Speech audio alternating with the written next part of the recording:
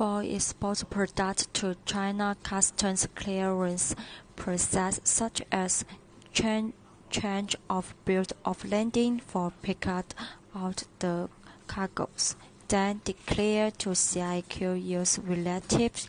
documents, contract, invoice, packing list, and declare to China customs and pay duty tax.